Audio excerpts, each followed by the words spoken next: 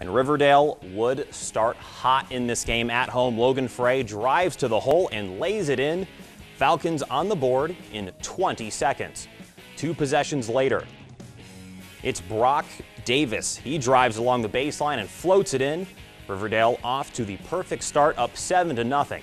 And after the timeout, Davis scores down low off the feed, a nine point lead for Riverdale.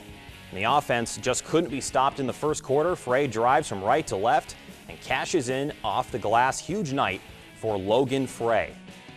And towards the end of the first quarter, Trey Mix hits the teardrop to the right side, and they would keep it up all night long. 59 45 the final. Riverdale wins at home.